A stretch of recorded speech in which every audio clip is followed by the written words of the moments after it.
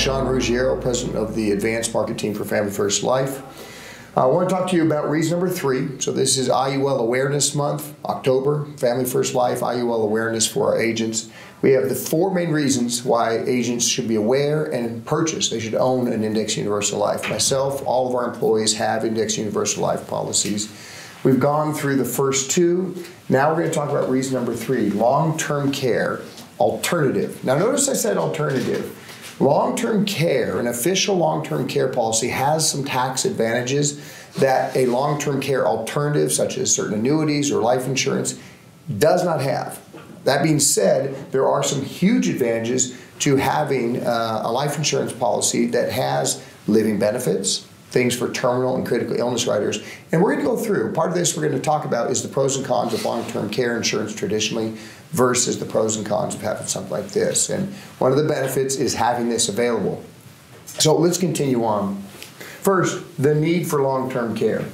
According to longtermcare.gov, 70% of us, once we reach age 65, okay, will need some form of long term care for the rest of our life or at some point during the rest of our life. if we look at that, the older we get, the higher that probability grows. But that means that if you're talking to a client who's 65, or you are eventually going to be 65, or your parents are 65, or whatever it might be, 70% of us will need some form of long term care. Now, because of lack of resources, roughly half the time, a little over half the time, that long term care is provided by family. That makes it very, very difficult on the family, and it's not the intentions or the wishes of most people as they go into retirement. That's usually because they've had either uh, financial difficulties or they've had a lack of planning. And as agents of Family First Life, we want to protect against both. We want to prepare against both. We want to help you have financial success, and we want to give you some financial planning tools. A couple of statistics that I think are important. Women, the average stay or need for long-term care is 3.7 years. Men, men aren't quite as tough. They can't hang in there as long. It's 2.2 years, all right? 20% though, 20% will need some form of long-term care for longer than five years. That's a pretty daunting challenge if we look at it and we look at the rising cost of health care. I want to talk about something that um, is a known phenomenon when it comes to retirement planning, when it comes to challenges in retirement and challenges with aging, and it's called the, uh, the retirement spending smile. Okay, let's go ahead and bring in the ink. And if you're retired and you're spending $100,000 at age 65, that is the peak spending point of your retirement. It is early in retirement. You're young enough, capable enough. You're going to go out and travel to Rome. You're going to go to Venice. You're going to go to the Grand Canyon. You're going to spend some time in Mexico, whatever it might be. So that traveling and that cost is at a peak. But then what happens as you get 70, 75, 80 years of age? The spending goes down. Well, of course it does. You don't do as much you're not involved as, in as many activities, your spending goes down. But then look what happens your spending goes up. Why does your spending go up as you get towards 90, 95 years, and then it goes up at such a steep extent before we expire? Healthcare costs. That's why. A lot of that is long term care. That is the cost of healthcare as we get prepared for death. Kind of a sad thing to think about, but that's what it is. So, Going to the next slide, we can see this in a different uh, illustration. So this is banding our expenses. So we have we have taxes, basic living expenses, groceries, gas, rent, whatever it might be. Leisure, these are expenses that uh, we decide to take, uh, such as travel, and then healthcare. Healthcare is the is the gray one. So if we look at these again, early in retirement, say age 65, and then project that forward to 80, project that forward into to our 90s or getting close to 100 years old, you can see that the healthcare cost here, which made up a much smaller portion of your spending, as we get closer to retirement, it becomes the majority of your spending. Okay? Healthcare costs are real, they're a challenge. If we look at inflation, healthcare inflation has gone has grown by double digits compared to normal inflation, which has been traditionally over the past decade or so single digit, 1%, 2%. So it's a big challenge, and that's where we have that retirement smile. So we know the challenge. We know that 70% of us are going to need it. We know it's going to create expenses later in life, and we must prepare for it. So, what are we going to be able to do? Well, in order to be able to prepare for it, let's talk a little bit about what qualifies as a critical or terminal illness. Because when we talk about IULs and being able to be a long term care alternative, we're talking about um, something that has a living benefit, and that living benefit triggers the ability to access the death benefit early. That's why they call it a living benefit. You're accessing the death benefit or money that is, is earmarked to be a death benefit, a tax free benefit to your beneficiaries. You're looking at accessing that while you're alive, thus, it's called a living benefit. So it's accessed in one of two ways. If, if you are, it's triggered if you have a critical illness or if you have a terminal illness. Now, critical illness is less severe, and there's a certain calculation that each carrier will use in accordance with what the IRS or the government allows to uh, how much you can take out of that death benefit. Say if the death benefit is $100,000, can you take up to 80%? And how much can you take per diem? Uh, that's all calculated. But a critical illness, something that would qualify, would be cancer. That could even be, in some cases, non life threatening cancers, cancers that could cause an illness and some costs, but not necessarily be deadly. Uh, heart attack, stroke, tumor, Alzheimer's, Parkinson's. There's just some of these. Now ask yourself, who do you know who has had a heart attack or stroke? Or if you're sitting down with a client, has the client experienced a heart attack or stroke or cancer or, or tumor, Alzheimer's, Parkinson's? See, these are very common, unfortunately, events that can happen, and that critical illness can trigger the living benefit in a life insurance policy, like an IUL. How about terminal illness? Terminal illness, more severe, okay? Different calculation, how much of the death benefit will they give you as a living benefit? the terminal illnesses, just a short list. Uh, advanced cancer, okay, something that might be in a stage three or stage four where it becomes terminal. Dementia, pulmonary diseases, heart diseases, HIV, ALS, and liver disease, just, just to name a few, okay? So when we get to face those things, how do you protect yourself? How do you protect your family? How do you protect your loved ones?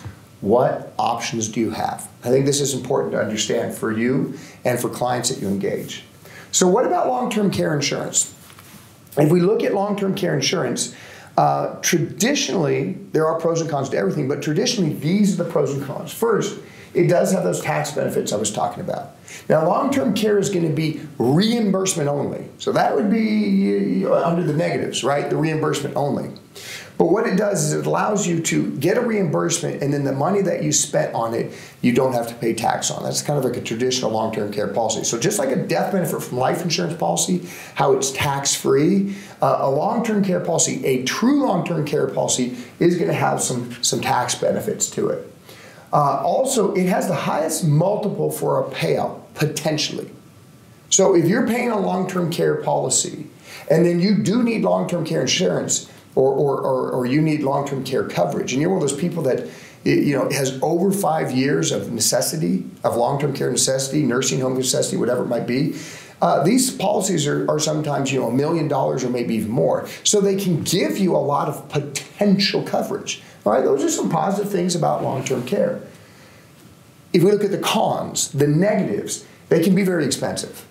Uh, I'm 45 years old. I shopped some long term care, and that's considered early and I'm fairly healthy, it was more expensive than I thought it would be. Okay, more expensive than I thought it would be. And many of our clients don't even look at it until they're 55, 60, or 65 years old. By that time, it's too expensive. Period. End story. Too expensive for them. And there are underwriting challenges. All right, uh, not everyone is going to be approved, and it's scrutinized pretty closely. They also might not use it. So uh, long-term care, one of the one of the the the, the, the, the knocks against it, like any insurance, say your auto insurance, is that if you don't get in a wreck, then you wasted the money. Well, there are long term care policies that can be structured in a way that, that there is some value retained, but a true traditional long term care policy, getting the most bang for your buck and having the lowest premium so it's affordable, you do strike a chance. Let's say you're the 30 percenters who don't need it, the money's wasted. And that's a hard thing to swallow when you think about the, uh, the expensiveness of it or the cost of it. And also, it is reimbursement. So you do have to pay for it, then get reimbursed. It has to come from a nursing facility. Uh, this is not indemnity. This is not something where you can just say, I can't perform two of six activities of daily living and then go ahead and get a check to, re- to, to, to, to spend on that. All right. So with a with a um, a living benefit, if you have a doctor's note, you could get a check for say five thousand bucks and use that to pay your daughter or your son who is helping you with in-home nursing care. You don't have that same sort of flexibility with a long-term care insurance policy because you need to have it um, um, reimbursed from a licensed facility that is performing the uh, um, uh, the care. All right. So some of the pros, some of the cons. now, what about being self-insured? All right. What about just saying, "Hey, I don't need this." I'm pretty well off, or I'm going to get a big inheritance, or I've been very successful in my business life or in, in, in my whatever life it is that's allowed me to um, accumulate a lot of assets.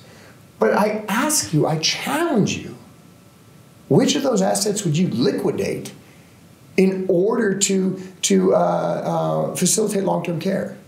Right? We don't think about that, but that's, that's, that's really a tough decision. Uh, Amazon. I'm from Seattle. I bought Amazon early on. and I continue to buy Amazon. It was one of the greatest investments ever made. So I have hundreds and hundreds of shares of Amazon. Okay, it's now worth like three thousand five hundred dollars a share. All right. Wow, isn't that crazy? I'm emotionally attached to it. When am I going to sell it? I would love to give some. Hopefully, some of the new tax changes don't take that step up in basis away. But I would love to give some to my kids or grandkids, right? I don't want to sell my Amazon to pay for long term care. What about the classic cars? Now, I'm not a classic car person. I've got some vehicles I enjoy to drive, but what if they are? What if you're a classic car person? Do you want to go sell that to pay for long term care? What about your condo in Miami Beach? What about the boats or the toys? What about your primary residence? Are you going to do a HELOC? Are you going to do a reverse mortgage to pay for long term care? What about your cash savings? But see, your cash savings is your security blanket. Is that what you're going to use to spend on long term care? See, we don't think about it, but when we actually apply some thought, even if we're wealthy, even if we can afford long term care, we don't think through on which asset we would spend to cover the cost. And I challenge you because none of these assets are something that you would want to spend to cover the cost. And even in the practice of doing so, it's easier said than done. Life insurance can cover that. It can protect you, it can add that shield and create a barrier that you can use so you don't have to liquidate assets. You can continue on with your estate planning as you'd want and uh, take care of the long term care.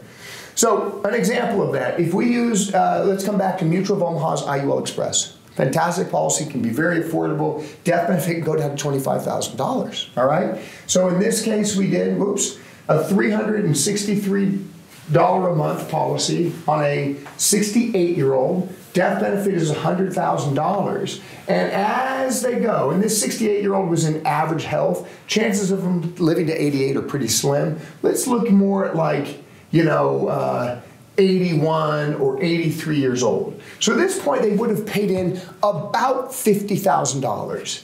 And yes, they have $27,000 of cash that they could use for whatever they need. But that living benefit kicks in right here. They have $100,000 that's as good as banked. And if we go back to the other slide, regardless of how many or how little assets they have, they don't have to touch those assets. They have the death benefit that they can access. And if they can't perform two of six ADLs, if they have a terminal illness or critical illness, they can get it as a check. They don't need to have it spent as a reimbursement. And they didn't have to spend the money on a long term care uh, policy that they might not end up spending anyways. Because if the person dies peacefully in their sleep at 80 years old and they never need a long term care, they could have potentially wasted that money in a long term care policy. With this, if they die, well, then guess what? The $100,000 all goes to their beneficiaries. So it makes it very, very good and very, very efficient for planning. So, want to get moving, want to get started? Remember this we've got benefit number one more death benefit. The vast majority of agents out there either don't have any life insurance coverage or are, are grossly underprotected. Go protect your families, get more death benefit, and IUL is a great product. Secondly, the one, the beacon, the one we like to point at, tax-free income. Tax-free income. It's a fantastic tool to supplement your retirement and protect you from future taxes, which will be on the rise. And then number three, long term care alternative. You've seen the statistics, you've seen the benefit and the value. Protect yourself and create a plan starting today. The IUL, being the Swiss Army knife of insurance products, of financial tools, will allow you to do that. But you got to get moving. You have questions. Do you want illustrations? Do you want to get contracting? Email us info at fflams.com or call us 208 551 5015. Thank you.